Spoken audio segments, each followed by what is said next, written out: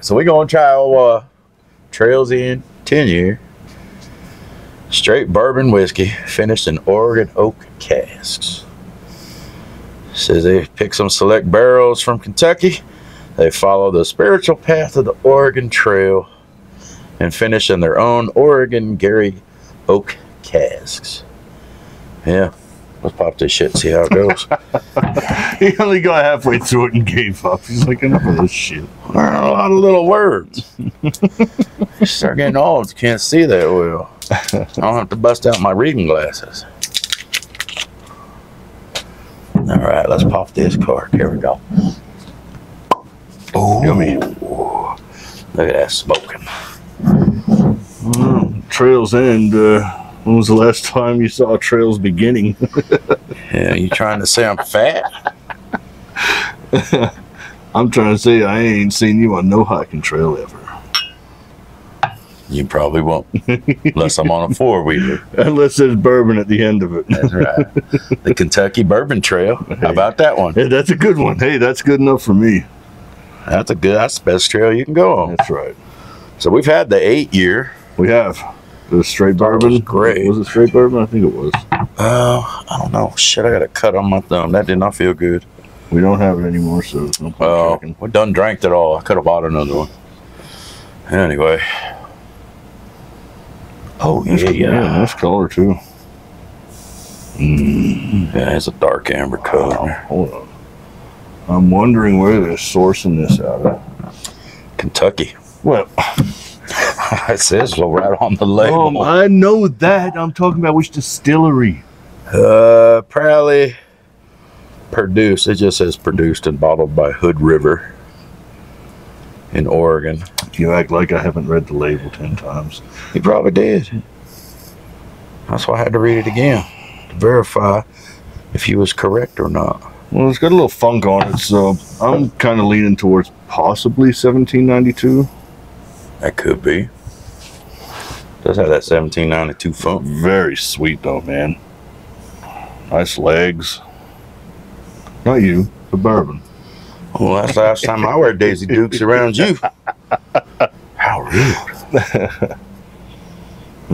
That does smell mightily good. Vanilla. Oh, yeah. Mm. Always have vanilla and caramel. Well, most of the time. Some great oak in there. That OCD number five didn't have much vanilla. That was all barrel. That's good shit, too. Man, ready to get into this one. Cheers. All right, cheers.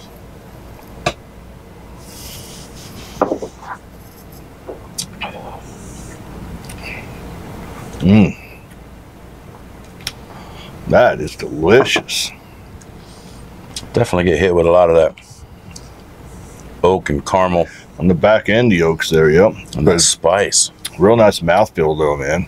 Thick. Mm-hmm. What's that fancy word they say? Viscous. Viscous. I guarantee I spell it wrong. oh man, quite nice. Uh, not sure where they get it from as far as the distillery goes. I'm gonna lean maybe towards either 1792 or Bardstown, Yeah. Seems to have that profile. but a very very pungent nose. Like as far as you know, that punch of sweetness, big vanilla, little. Going back in, I'm getting a little tobacco. There it is. Tobacco. But that uh, that mouthfeel though, man, and the finish. Tobacco, leather, caramel. Yeah, it's all there.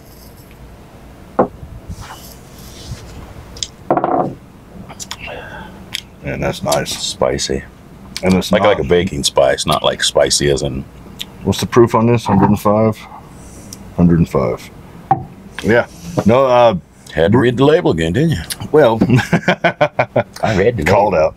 Uh, it real, real, real good on the finish, man. It's a, it's a nice hug, but it's not an overpowering hug. Very, very crushable for a 10 year, sourced and then refinished uh, for, for an Oregon release. It's Probably one of my favorites. Yeah, and that oak comes out in that new finished release or finished uh blah, blah, blah, blah. Oh, man. I don't drink bourbon. He's a professional, ladies and gentlemen. Professional eater. mm-hmm. What you get? Do you, know, you smashed yours. yours I did. You know, that's because I need a little bit more. I got a big mouth, you know. Mm-hmm. Just a little bit. A little bit helps the sugar go down. Yeah, all right, you done chairs to do any chairs.